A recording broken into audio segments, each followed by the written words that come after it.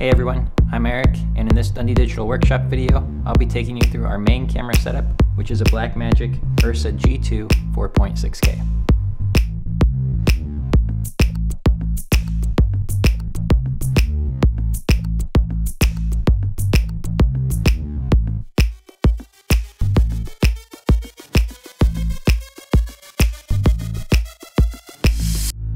The way this rig's built out is pretty simple. On the back here is a Dracast V-mount battery, and that powers the entire thing. These are 95 watt hours, and we can get about three hours of battery life with this rig. On the top here is a Blackmagic Video Assist. This is the 5 inch. It's attached to the top here via a SmallRig magic arm. Also on the top here of the handle, we've got a ball mount, and that allows us to connect this whole unit to our Easyrig. Now with the monitor up here and with the camera monitor, I typically run false color down here on the camera monitor, and up top I'll run a clean feed, but I'll also have focus peaking on this. That way I can see focus and I can see exposure, and I can, between the two monitors, I can see real quick where the shot's at.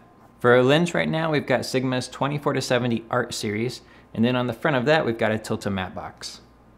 The Ursa G2 does have built-in ND filters on it, so usually with this matte box, we've just got a clear filter in the front.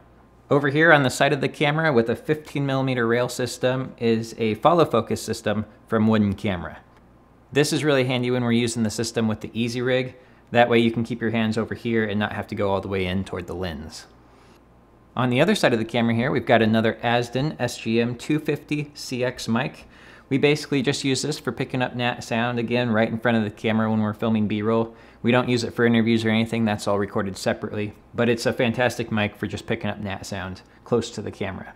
That's held on by a mic mount that's actually sold by Blackmagic. It attaches in between the handle and the camera here. There's a tiny little gap there. Take the handle off, put the mic mount on, put the handle back on. And it just holds it right out to the side of the camera here. It's really nice. And then that just goes into one of the XLR ports on the top of the camera. We've got a handle on the side here. This is actually a Blackmagic handle, comes with the camera. It's got record, start, stop features on it. And then right next to that, we've got another SmallRig hard drive mount. We use the Samsung T5 hard drives because everything we record is in Blackmagic RAW. These are all one terabyte size, and they fill up pretty quick with Blackmagic RAW footage, but they work really good for us. Underneath of the camera here, we've got the Blackmagic shoulder mount system.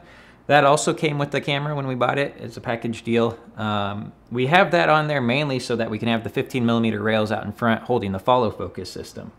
And then underneath the shoulder mount is another just standard Benro tripod plate that we use for our tripod mounts. That's it for this Dundee Digital Workshop video. Check out the rest of our YouTube page or head over to our website to see actual footage that we've shot using this rig. And of course, if you're looking for documentary cinematic video, don't hesitate to reach out. See you next time.